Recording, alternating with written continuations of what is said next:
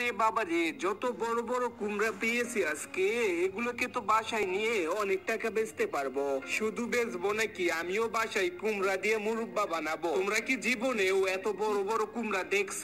এই প্রথম মনে হয় আমার ভিডিওর মাধ্যমে আজকে দেখতেছো। যদি এই প্রথম আমার মাধ্যমে দেখে থাকো, তাহলে ভিডিওতে লাইক চ্যানেলটা সাবস্ক্রাইব করে দিও। আর যাই যেটাই বলুক, আমার কিন্তু মাঠে কাজ করতে অসাধারণ লাগে। দেখো, ফুলগুলো কত সুন্দর সুন্দর, ফুলের ঘ্রাণটাও অসাধারণ। এই তো কুমড়াগুলোকে গাড়িতে লোড দিয়ে নিলাম, এগুলোকে এখন বাসায় নিয়ে যাব। আমি একাই মাঠ থেকে কুমড়াগুলা উঠালাম, গাড়িতে লোড দিলাম, এখন বাসায় নিয়ে যাচ্ছি, নিজেই গাড়ি চালিয়ে। আমার স্বামী নাই, এজন্যই আমাকে সবকিছু করতে হয়। এখানে বাজারে আমি কিছু কুমড়া বিক্রি করতেছি, আর এখানে আমি প্রতিবার কুমড়া বিক্রি করি, কেননা এখান থেকে আমাকে ভালো দাম দেয়। আর এই তো একটা কুমড়াকে বাসায় নিয়ে যাচ্ছি মুরব্বা বানানোর জন্য।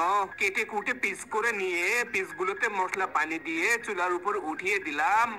ওরে